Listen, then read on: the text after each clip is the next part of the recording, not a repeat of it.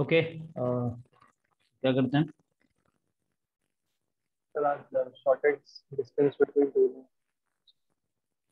देखो last class में क्या बताया था मैंने? इलेवन पॉइंट वन कराया था।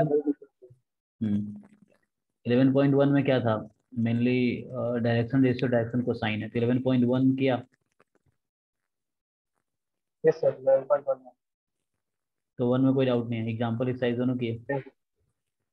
Yes sir example exercise okay अब 11.2 में मैंने लाइक uh, इक्वेशन बताया था तुम्हें कि how to find equation of a line हमने स्टार्ट किया था।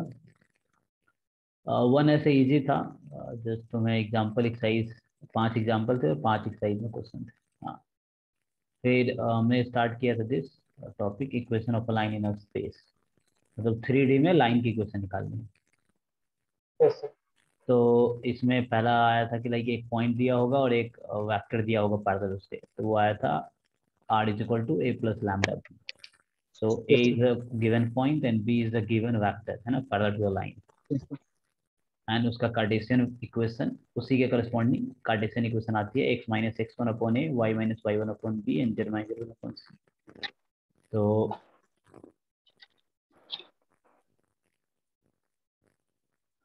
अब equation of a line passing through two given points ठीक है? तो ये है किसी लाइन की इक्वेशन टू गिवन पॉइंट से पास कर रही है मतलब अब दो पॉइंट था तो ये भी बताया था मैंने like r is equal to a plus lambda b है बी की जगह बस ए बी वैक्टर आ जाएगा उस इक्वेशन में। एंड यहाँ पे डिफरेंस क्या आएगा? ये जो कार्टेशियन इक्वेशन यहाँ ए बी सी की जगह ए बी वैक्टर का डायरेक्शन रेशियो आ जाएगा like x two minus x one y two minus y one z two minus तो ये हमने लास्ट क्लास में किए थे। है ना? तो इन्होंने ऐसे ए बी वैक्टर को ऐसा लिखा है बी पॉइंट बी का position vector minus point a का पोजीशन वेक्टर ऐसे वो भी माइनस को ए ये इसका कार्टेशियन uh, इक्वेशन है। उस लाइन की जो पॉइंट से पास कर रही है x one y one z one से और मतलब दो पॉइंट से पास कर रही है x one y one z one x two y two z two तो उसकी इक्वेशन है। तो यहाँ तक मैंने कराया था I think angle between two line भी कराया था एंगल बहुत ईजी है लाइक दो वैक्टर के बीच का एंगल निकालना है। तो हम ए डॉट बी का फॉर्मूला जानते हैं ना mod a mod b cos का तो वहाँ से आ जाता है तो वहीं से इसने किया है कि ये भी कला कराया था मैंने कि ये क्या है ए डॉट बी है ऊपर और नीचे है magnitude a magnitude b a b क्या है? अच्छा तो यहाँ पे ए बी जो बोल रहा हूँ तो यहाँ b one dot b two है। अपॉन बी वन का मैग्नीट्यूड बी टू का मैग्नीट्यूड अच्छा दो लाइन अगर परपेंडिकुलर होता है तो क्या होता है? हाँ थीटा नाइन्टी डिग्री है तो इसका मतलब ये हो गया कि यहाँ पे तुम थीटा को नाइन्टी रख दो ऐसे ही हो जाएगा। यहाँ से भी आ जाएगा डायरेक्टली या तो थीटा को नाइन्टी रख दोगे कॉस नाइन्टी कितना होता है?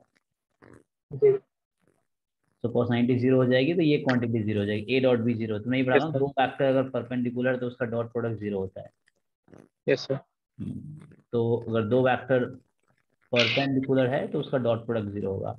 और अगर पैरेलल है दो वैक्टर तो मतलब थीटा ज़ीरो है तो एक दूसरे का वो मल्टीपल होगा। मतलब मैं लिख के yes, बोल रहा हूँ?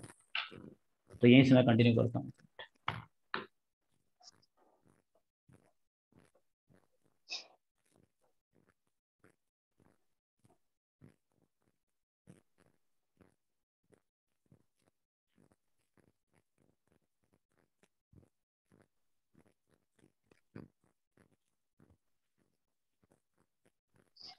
तो यहाँ से अगर मैं बात करूँ कि एंगल बिटवीन टू वेक्टर यहाँ पर लास्ट क्लास में स्टार्ट किया था टू लाइंस सो लाइक एक लाइन है r is equal to a plus lambda b one a one plus lambda b one कर दो। R is equal to a two plus mu b two जैसे तुम to D में लिखते हो Y बराबर एम एक्स प्लस सी तो यहाँ लिखते m one x plus c one and दूसरी लाइन होती है y is equal to m two x plus c two like this तो ये एक लाइन है, दूसरा लाइन है। तो ये टू डी में इक्वेशन मतलब equation of line in plane है ये। और ये जो लेफ़्ट साइड में है equation of line in space है।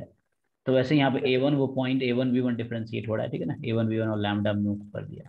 तुम यहाँ भी चाहो तो लैमडा वन और यहाँ लैमडा टू कर सकते हो, चाहो तो। दिक्कत नहीं है इस तरह से। जैसे यहाँ एक्स वाई कॉमन है जैसे यहाँ देखते हो वाई वाई है। एक्स एक्स है। तो वैसे यहाँ पे आर है वो वेरिएबल एक्स वाई की जगह आर जैसे आता है। वैसे। तो आर वेरिएबल है इन केस ऑफ़ इक्वेशन तो क्वेश्चन क्या था कि व्हाट इज़ एंगल तो अगर थीटा दो लाइन के बीच का एंगल है मान लो थीटा है और दूसरा एंगल फाइव माइनस थीटा होगा तो ये अंडरस्टूड है। कि तुम किसी एक एंगल को थीटा कंसिडर कर दो दूसरा उसका जो आ, क्या बोलते हैं? सप्लीमेंट्री एंगल हम्म सप्लीमेंट्री जो होगा पाई माइनस थीटा मतलब एल वन एल टू के बीच एंगल थीटा है तो ऑब्वियसली पाई माइनस थीटा भी उसके बीच का एंगल होगा क्योंकि इस तरह तुम लाइन बनाओगे तो ये भी उसके बीच का एंगल है और ये भी उसके बीच का एंगल है। ये मतलब yes. तो दोनों लिख सकते हैं। तो कॉसिरा यहाँ से ये था कि b one dot b two upon magnitude of b one magnitude of b two इस तरीके से। इसका मॉड ले लो अगर तुम्हें एक्यूट एंगल चाहिए तुमने कहा दो एंगल है ना थीटा है पाई माइनस थीटा है। तो मॉड लगाने से क्या होगा? एक्यूट एंगल आंसर आएगा। जो भी 90 से कम होगा, वो वाला आंसर आएगा। तो ये हमने किया था और इसी को अगर तुम कार्टेशियन फॉर्म में ले जाओगे तो ये आता है cos theta is equal to क्योंकि बी वन वैक्टर वहाँ जो हम कंसिडर कर रहे थे a one i cap b one j cap और सी वन के कैप और बी टू वैक्टर जो हम कंसिडर कर रहे हैं a two i cap b two j cap and c two k cap तो ये तुम्हारा b one b two vector है। इसका अब तुम्हें क्या करना है इस फॉर्मूले में? डॉट प्रोडक्ट निकालना है। डॉट प्रोडक्ट फॉर्मूला बताया था लास्ट क्लास में बताओ। B one dot b two क्या होगा? Sir a one into a two plus b one into b two plus c one into c coefficient का प्रोडक्ट तो आई आई का कोएफिशिएंट का प्रोडक्ट तो सी वन से तो ये न्यूमरेटर हो गया। अब नीचे क्या है? मैग्नीट्यूड लेना है। तो बी वन का मैग्नीट्यूड है ना? Square b one square c one square यहाँ से आएगा। A two square b two square plus c two square तो ये फॉर्मूला ये कार्टेशियन फॉर्म में हो गया जैसे और ये वेक्टर फॉर्म में हो गया ये। सर। तो बस तुम्हें इसको अप्लाई करना है। क्वेश्चन स्ट्रेट फॉरवर्ड है। इसलिए मैं क्वेश्चन नहीं करा रहा हूँ क्योंकि क्वेश्चन तुम कर लो तुम्हें आइडिया है पहले से Yes, तुमने ऐसे फ़र्स्ट टाइम तो नहीं पढ़ रहे हो। तो अगर तुम बोलोगे तो मैं क्वेश्चन भी करा दूँगा लेकिन तुम खुद करोगे तो भी हो जाएगा। जैसे यही angle Yes, find the angle between pair of line कितना इजी है। आर बराबर ये हो गया a one plus lambda b one ये क्या है देखो मैं क्या बोल रहा हूँ।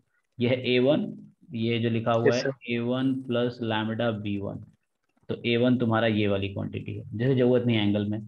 और दूसरी वाली है a two plus mu b two या लैमडा टू बी टू तो ये ए टू हो गया और ये बी टू अब ये बी वन है और ये वाली क्वांटिटी बी टू है। हो गया इससे आ जाएगा b one dot b two upon this ये इस फॉर्मूला से भी निकाल सकते sir. हैं। तो ये करना आसान है। यहाँ भी एंगल अभी कार्टेशियन फॉर्म में दे दिया बस और कुछ नहीं लाइन को कार्टेशियन फॉर्म में दे दिया। तो यहाँ से तुम डिसाइड करना पॉइंट ये जो होता है जैसे तुम्हें वो डिसाइड करना पड़ेगा कैसे स्टैंडर्ड फॉर्म में लाके। सो स्टैंडर्ड जो क्वेश्चन तुम ट्राई करोगे जब नहीं होगा तब तो समझ आएगा ना मुझे क्या तुम्हें नहीं आता है। जब तक ट्राई Yes, नहीं करोगे मुझे कैसे समझ आएगा तुम्हें क्या नहीं आता है। तो जो ट्राई करो फिर नहीं आ रहा फिर मैं कराऊँगा सॉल्व फिर तुम्हें समझ आएगा वो चीज़ है। अब ये वैक्टर है ना जैसे यहाँ पे मैंने इसमें क्या किया है? यहाँ जो मैं लिख रहा हूँ।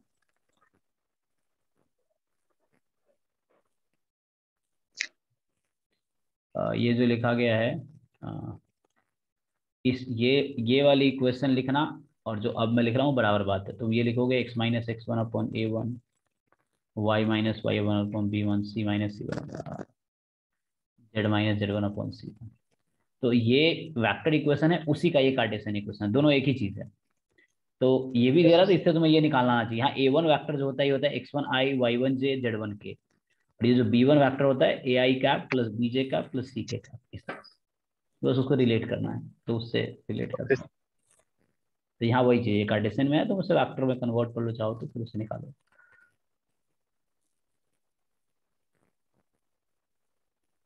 अब नेक्स्ट यहाँ से स्टार्ट करता हूँ। Shortage distance between two lines यहाँ पे सिर्फ़ फॉर्मूला है मतलब ऐसा कुछ नहीं है।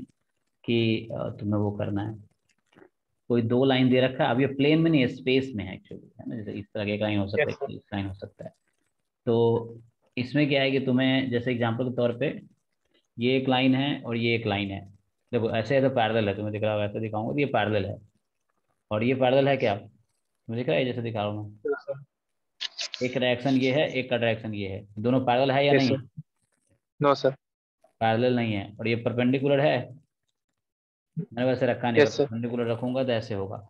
मैं रखा नहीं मैंने ऐसे तो Yes, sir. क्रॉस रखा है। तो ये ना तो पैरेलल है ना ही परपेंडिकुलर है। प्लेन में क्या होता है? ओके प्लेन में दो सिचुएशन तो वही लाइन तुम प्लेन में बनाओगे। प्लेन का मतलब कोई पेपर पे दो लाइन बनाओ। तो दो तरह की सिचुएशन आएँगी। क्या हो सकता है? या तो इंटरसेक्ट करेंगी या Non-intersecting. नॉन इंटरसेक्ट मतलब क्या? प्लेन में अगर कोई पैरेलल सो क्या होता है? टू में अगर बात करोगे in two D two D मतलब हो गया प्लेन में बात करेंगे। तो प्लेन Yes, में दो सिर्फ़ दो तरह की सिचुएशन है। या तो लाइन इंटरसेक्ट करेंगी या पैरेलल होंगी। टू में सिर्फ़ जो टू है टू डायमेंशनल उसमें टू मतलब प्लेन में लाइक तो प्लेन पेपर हो गया या स्क्रीन हो गया। तो उस पर कोई लाइन ड्रॉ करोगे तो दो ही सिचुएशन या तो इंटरसेक्ट करेंगे या इंटरसेक्ट नहीं करेंगे। इंटरसेक्ट नहीं करेंगे मतलब वो पैरेलल है। Yes. इंटरसेक्ट नहीं करने का मतलब क्या है? पैरेलल है। अब थ्री डी में तीसरा सिचुएशन भी है। In three D three D का मतलब हो गया स्पेस मैथमेटिकल सेंस तो स्पेस में तीन तरह का सिचुएशन है। या तो लाइन इंटरसेक्ट करेंगी जैसे इस तरह का है मान लो ये जैसे मैंने अभी क्रॉस किया इस तरह क्रॉस करके जा रहा है तो इस तरह से। या यही यही वाला केस है इंटरसेक्ट करेंगी। या दूसरा पैरेलल होंगी। तो पैरेलल से ये ये लाइन है और ये है। तुम्हें दिख रहा है पैरेलल है ये? तुम्हें दिख रहा है ये? कैसे मैं कर रहा हूँ? तो ये पैरेलल है? पैरेलल ऐसे होगा। अभी ये पैरेलल है। यस अगर इसको ऐसे Yes. कर दिया तो पैरेलल नहीं है अब। तो ये Yes, sir. इंटर, इंटरसेक्ट कर रहा है क्या? नहीं सर इंटरसेक्ट कब करेगा? जब एक दूसरे के कुछ कॉमन हो। कॉमन पॉइंट नहीं है। ये इधर है और ये इधर है। स्पेस मतलब ये पूरा रूम स्पेस है। तो इंटरसेक्टिंग लाइन हो सकती है या पैरेलल हो सकती है या तीसरा सिचुएशन है? यहाँ आता है स्क्यू लाइन्स सो थ्री में तीसरी केस भी है. स्क्यू लाइंस का मतलब हुआ कि ना तो इंटरसेक्ट कर रहा है ना इधर इंटरसेक्टिंग हाँ nor parallel so three D में ऐसा सिचुएशन पॉसिबल है. जैसे मैं बोला, ये एक लाइन हो गया, ये एक लाइन ये ऐसे समझो कि रूम के एक छत में एक तुम लाइन ड्रॉ करो और एक लाइन ड्रॉ करो तुम्हारे फ्लोर पे बॉटम पे, है ना? तो रूफ पे एक रूफ पे लाइन ड्रॉ करो और एक तुम फ़र्स्ट पे लाइन ड्रॉ करो. और ऐसे करो कि पैरेलल ना हो। तो पैरेलल ना हो तो क्या हुआ? तो वो ना तो पैरल है ना इंटरसेक्ट कर रहे हैं क्योंकि एक तो छत पे है उधर है और एक नीचे है। तो ना तो वो पैरल होंगे पैरल मत बनाना मतलब पैरेलल भी नहीं होंगे और इंटरसेक्ट भी नहीं कर रहे होंगे। तो उस तरह के लाइंस को बोलते हैं स्क्यू लाइंस तो अगर कोई दो लाइन इंटरसेक्ट कर रही है तो उसके बीच का डिस्टेंस क्या होगा? दो लाइन अगर इंटरसेक्ट कर रही है तो उसके बीच का डिस्टेंस क्या होगा? सर जहाँ इंटरसेक्ट कर रहे हैं वहाँ तो ज़ीरो हाँ तो ज़ीरो होगा। अगर कोई दो लाइन इंटरसेक्ट कर रही है तो उसके बीच का डिस्टेंस ज़ीरो होगा। और पैरेलल में? पैरेलल तो कितना भी है तुम्हें फाइंड करना पड़ेगा। तो पैरेलल और स्क्यू के केस में तुम्हें फाइंड करना पड़ेगा फॉर्मूला अब पैरेलल पैरेलल में तो जो भी होगा डिस्टेंस यूनिफॉर्म रहेगा। यूनिफॉर्म मतलब जैसे ये ड्रॉ करोगे इस तरह से तो शॉर्टेस्ट डिस्टेंस हमेशा बराबर आएगा। लेकिन स्क्यू लाइंस में अलग अलग केस है। स्क्यू लाइंस में क्या होता है मिनिमम डिस्टेंस निकालना होता है। इसलिए शॉर्टेस्ट बोलते हैं कि सबसे कम डिस्टेंस कितना है स्क्यू लाइंस के केस में। तो दोनों का अलग अलग फॉर्मूला है। पैरेलल का अलग फॉर्मूला है और स्क्यू लाइंस का अलग फॉर्मूला है। इंटरसेक्टिंग है तो सिंपली डिस्टेंस ज़ीरो है। और पैरेलल के लिए अलग फॉर्मूला है स्क्यू लाइंस के लिए अलग फॉर्मूला है। तो पहले तो ये है कि कोई दो लाइन पैरेलल होगा इसको कैसे डिसाइड करोगे? तो उनका परपेंडिकुलर डिस्टेंस सेम रहेगा नहीं, अगर मैं इक्वेशन देता हूँ, मान लो तुम्हें एक लाइन है R is equal to A one plus lambda B one ठीक है, कोई लाइन है। और दूसरी लाइन है R is equal to A two plus mu B two lambda और म्यू टू यहाँ म्यू और लैमडा जो वो कांस्टेंट है। और सर ये नंबर है। सो अब क्या होगा, तुम ये कैसे डिसाइड करोगे कि ये दोनों लाइन ये स्क्यू है या पैरेलल है। इंटरसेक्टिंग तुम देख के नहीं डिसाइड कर पाओगे। एंगल चेक एंगल भी चेक कर सकते हो अगर बीच का एंगल ज़ीरो डिग्री हुआ तो। पैरेलल होगा। ओके। ज़ीरो या वन एटी आया तो पैरेलल होगा। हम्म। ये भी एक तरीका है। इंटरसेक्टिंग में डिसाइड नहीं कर पाओगे देख के, उसके लिए डिस्टेंस निकालना पड़ेगा। डिस्टेंस अगर ज़ीरो आता है तो ऑब्वियस हो गया कि तो ये डिस्टेंस कैसे निकालोगे? तो ये स्क्यू वाले फॉर्मूले से निकालोगे।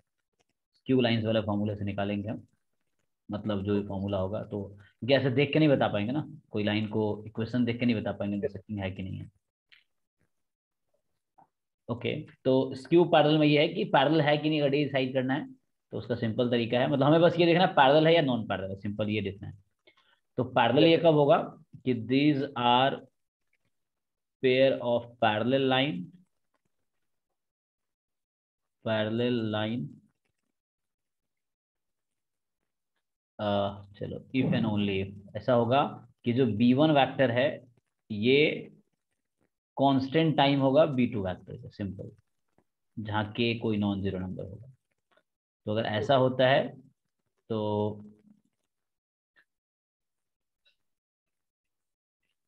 अगर ऐसा होगा तो ये पैरेलल है। अगर नहीं होता है तो पैरेलल नहीं है, ठीक है? अगर ऐसा बी वन बी टू तुम्हें देखना है कि कॉन्स्टेंट के साथ जो वेक्टर है, वो अगर एक दूसरे का मल्टीपल है तो यही B one B two denominator में होता है कार्टेशियन इक्वेशन लिखोगे।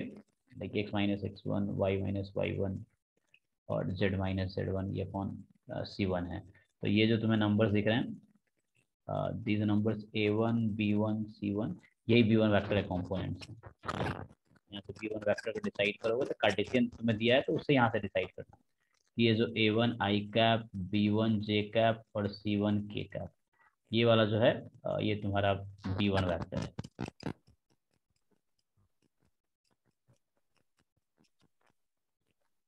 इस तरह से।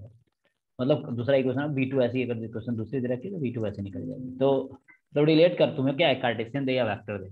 तुम्हें रिलेट कर पाना एक दूसरे को। तुम कार्टेशियन से वैक्टर लिख सको और वैक्टर इक्वेशन से कार्टेशियन इक्वेशन लिख सको। इस वाले को बोलते हैं कार्टेशियन इक्वेशन ये क्या है? कार्टेशियन इक्वेशन और ये ये जो लिखा है हमने ये वैक्टर इक्वेशन है। दो अलग लाइन मतलब। ये वाला वैक्टर इक्वेशन तो हमारा क्वेश्चन ये पहले पहचानेंगे कैसे? तो पहचाने का ये तरीका है कि B one B two multiple होगा एक दूसरे का। तुम चेक कर लेना या अगर कोई फिशन केस में देखोगे तो इस तरह से होगा कि like A one upon A two equal रहेगा B one upon B two equal to C one upon C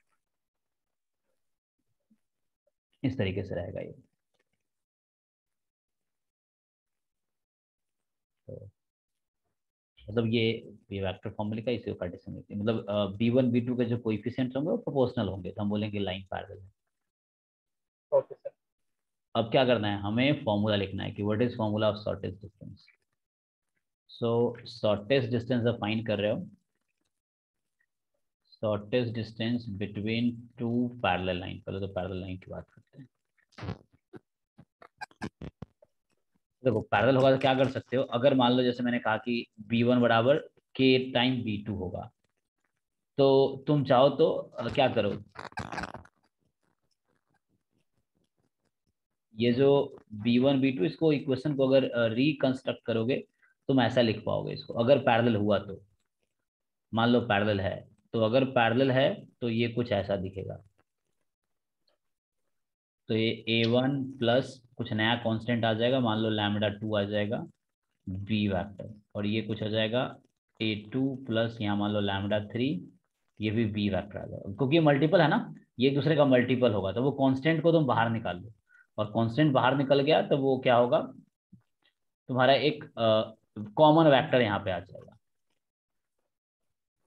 ये कैसे आ जाएगा कॉमन वेक्टर? जैसे तुम एग्ज़ाम्पल जैसे एग्ज़ाम्पल देखो आर बराबर कुछ भी यहाँ पे I cap plus J cap मान लो है plus lambda time two I cap three J cap plus four K cap या कुछ नया ले सकते हो। टू सिक्स फोर ले लिया। दूसरा आर बराबर I cap minus J cap minus K cap ठीक है इस तरह से। और प्लस म्यू टाइम यहाँ पे है जैसे माइनस टू आई कैप। कुछ भी ले, जैसे हमें तो वो बनाना है।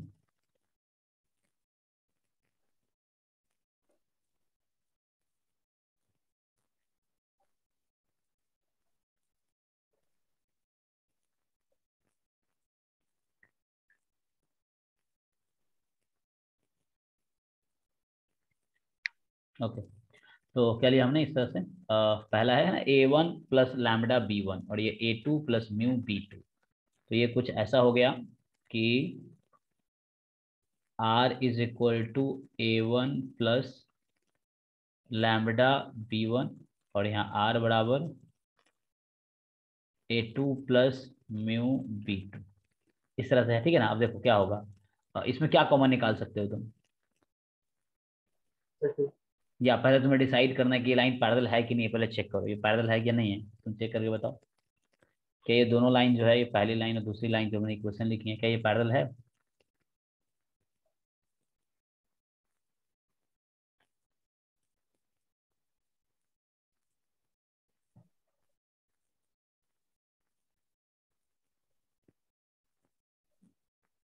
कैसे डिसाइड करो मैंने बोला था?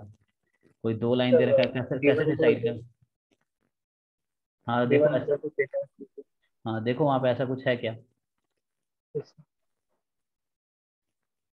सर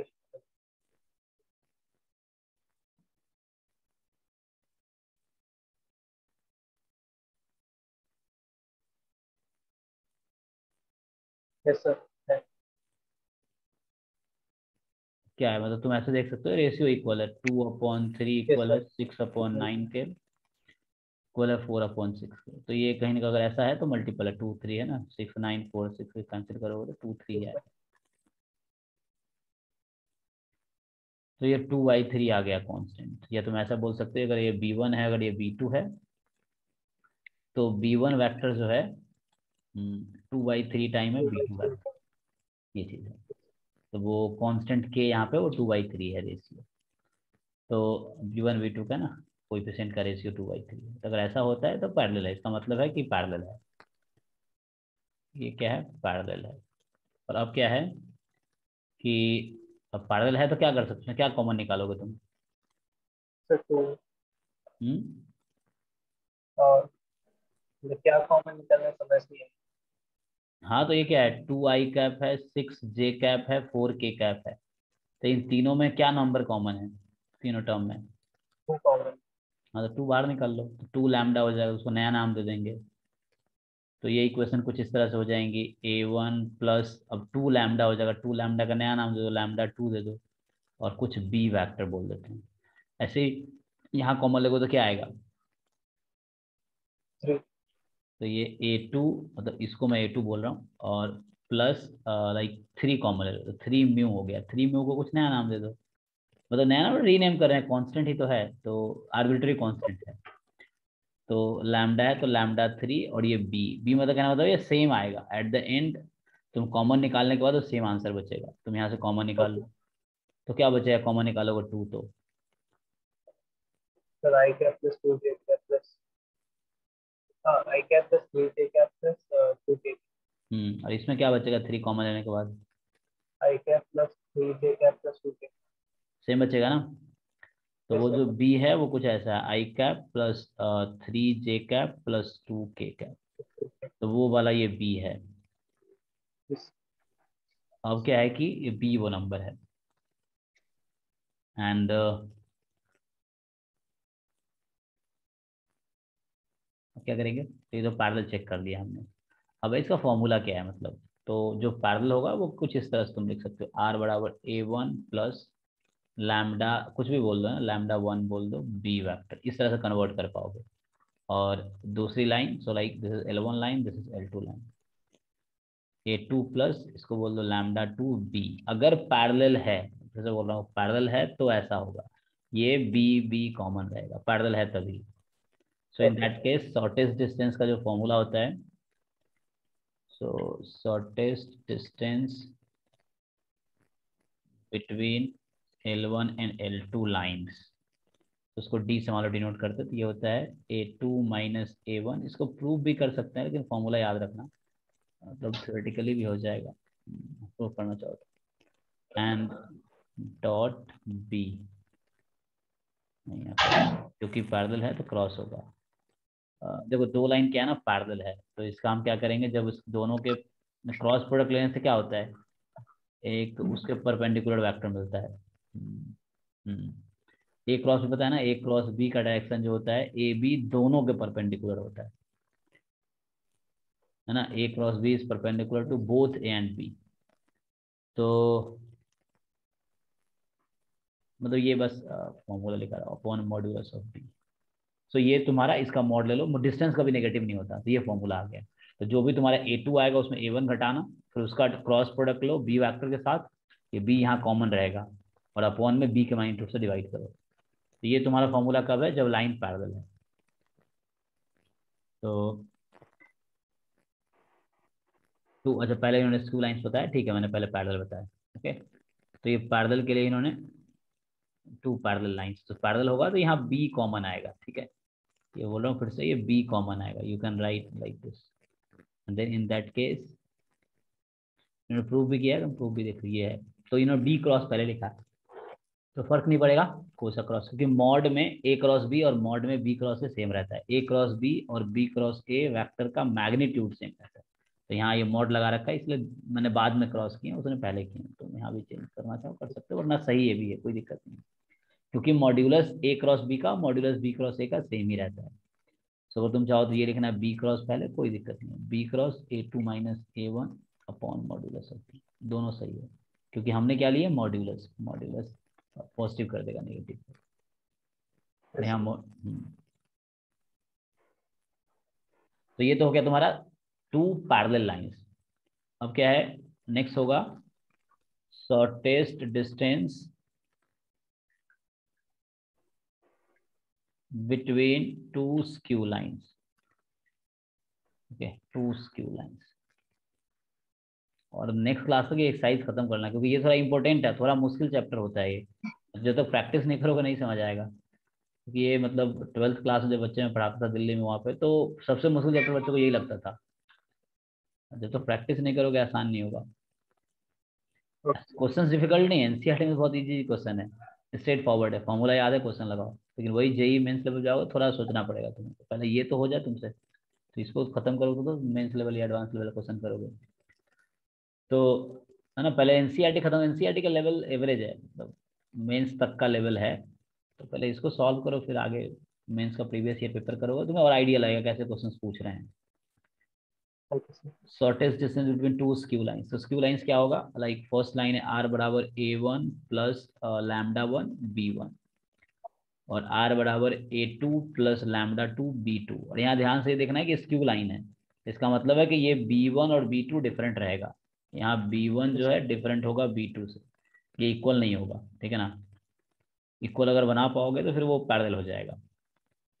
इक्वल नहीं बना पाओगे तुम डिफरेंट इन द सेंस यहाँ मैं लिखना चाहता हूँ not will not be constant time B two मतलब बी वन बी टू एक दूसरे का मल्टीपल होगा ही नहीं, ये मतलब है। मल्टीपल नहीं होगा मतलब ये नॉन पैरल लाइन इसका मतलब बोलना चाह रहा है नॉन पैरल लाइन यहाँ पे तुम नॉन पैरल लिख सकते हो। स्क्यू लाइन्स की जगह इन्होंने फॉर्मूला जो लिखा है नॉन पैरल के लिए।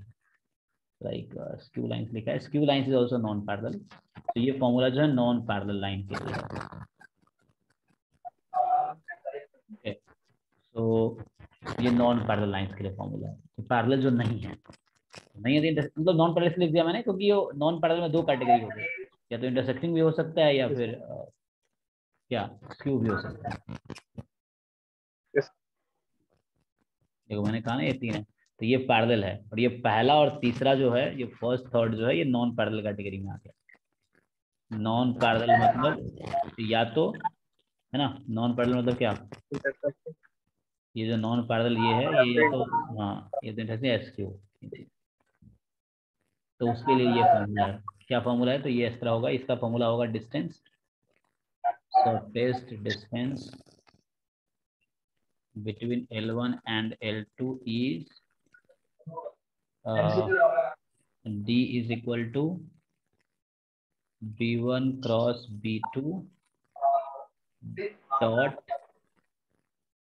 A2 minus A1 देखो अगर पैरेलल हो एक्चुअली होता क्या है जब पैरेलल रहता है तो दो वेक्टर अगर B1 B2 पैरेलल है तो B1 क्रॉस B2 ज़ीरो हो जाएगा तो ऐसे में तुम रिलेट कर पाओगे। तो वहाँ B one plus B two इसलिए नहीं लिखा हो ऐसे ही ज़ीरो हो जाएगा। अपॉन मॉड्यूलस ऑफ़ यहाँ भी मॉड होगा। तो मॉड दोनों तरफ़ ऊपर भी है नीचे ये ए डॉट बी का मॉड जो भी आएगा और यहाँ पे B one cross B two ये एक वेक्टर होगा इसका मॉड्यूलस ना? या तुम उसको तुम्हें अगर A two minus A one पहले लिखना है तुम ये भी लिख सकते हो। A two minus A one dot B one dot है हाँ डॉट बीच में डॉट है। डॉट प्रोडक्ट ठीक है यहाँ है cross product B one cross इसका मॉड्यूलस मतलब मॉड जो भी नेगेटिव नंबर आया तो पॉजिटिव कर देगा। और वेक्टर का मॉड्यूलस निकालने का तरीका पता है। स्केलर में मॉड का मतलब क्या होता है? स्केलर में मॉड का मतलब नेगेटिव पॉजिटिव कर देगा। ओके okay, तो ये फॉर्मूला है। मतलब बुक में इन्होंने वो लिखा होगा। तो राइट ये इनका है B one cross B two dot बीच में डॉट है यहाँ पे A two cross seven oh A two cross seven लिखा है गलत लिखा है शायद। ए टू माइनस सेवन होगा अच्छा ये बाई मिस्टेक क्रॉस आ गया।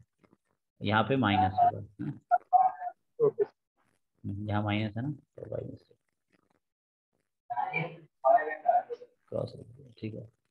तो ये तुम वेक्टर अब देखो अगर तुम्हारे पास ये मैंने मैं जो फॉर्मूला लिखा रहा हूँ सिर्फ़ कार्टेशियन के टर्म्स में लिखा रहा हूँ कोई दिक्कत नहीं है। तुम्हारे पास सॉरी तो मैं फॉर्मूला लिखा रहा हूँ वैक्टर फॉर्म कर रहा हूँ ये वैक्टर फॉर्म है सिर्फ़ है ना इसको बोलते हैं वैक्टर फॉर्म ये वैक्टर फॉर्म है। अगर तुम्हें कार्टेशियन फॉर्म भी दिया है तो भी तुम वैक्टर फॉर्म में लिख पाओगे। ए वन आइडेंटिफाई करना है बी वन आइडेंटिफाई करना है। ए टू आइडेंटिफाई कर लो बी टू आइडेंटिफाई कर लो कार्टेशियन इक्वेशन फिर उसके बाद यही फॉर्मूला लगा लो।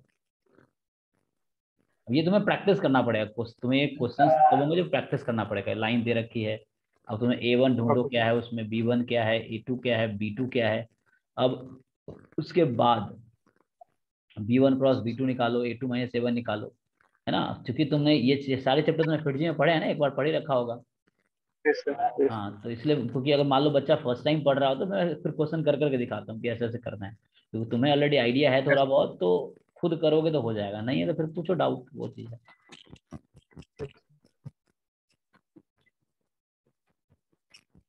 कोई भी चीज़ें आएगी ट्राई करने से आएगी। मैथ्स स्पेशली जब ट्राई नहीं करोगे कोई भी पढ़ा देगा कुछ नहीं होगा। वो मैथ्स उसी को आता है जो खुद अपना पेन चलाता है। मतलब बाकी हेल्प कर सकता हूँ तो मैं तुम्हें हेल्प कर सकता हूँ बेटर समझने में लेकिन तुम्हें समझ तभी आएगा जब तुम खुद पेन चलाओ Yes,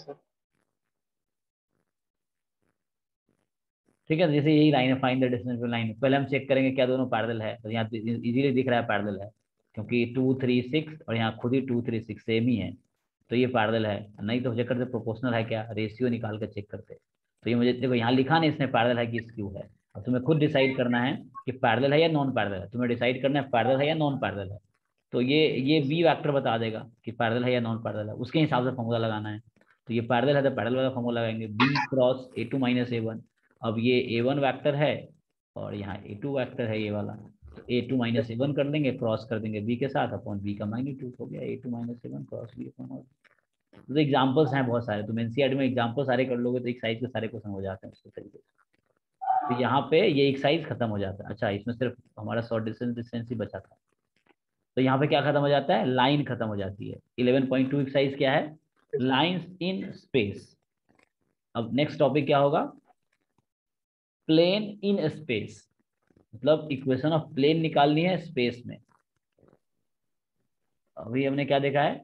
हम लोग अभी तक क्या कर रहे थे?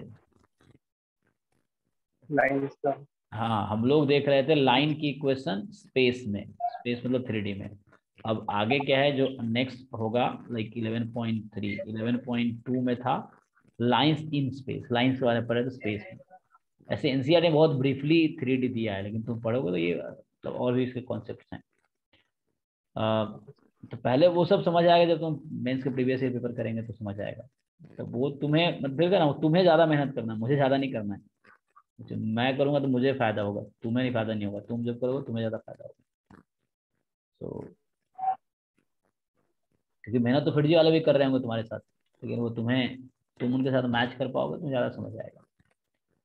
सो so, नेक्स्ट uh, क्या है? इलेवन इलेवन पॉइंट थ्री में क्या डिस्कस किया इन्होंने?